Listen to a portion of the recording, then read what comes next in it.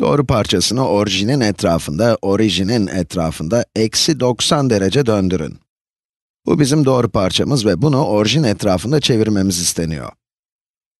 Döndür seçeneğine tıklayalım. Döndürme noktasını belirleyelim. Doğru parçasını orijin etrafında döndüreceğim. Bu yüzden bu noktayı orijinin üstüne koymam gerekiyor.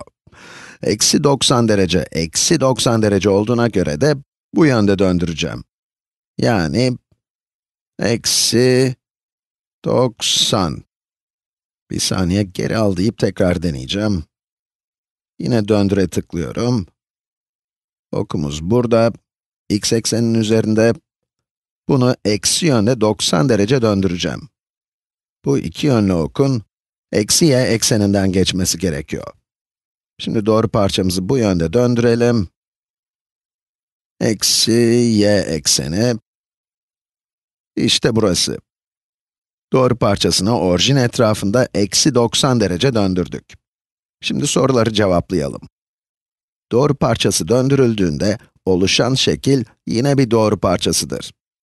Bu bir doğru parçası çünkü iki bitiş noktası var. Ortaya çıkan şekil döndürülmeden önceki doğru parçasıyla aynı uzunluktadır. Zaten burada uzunluğunu değiştirmedik, sadece bu nokta etrafında döndürdük. Hepsi bu.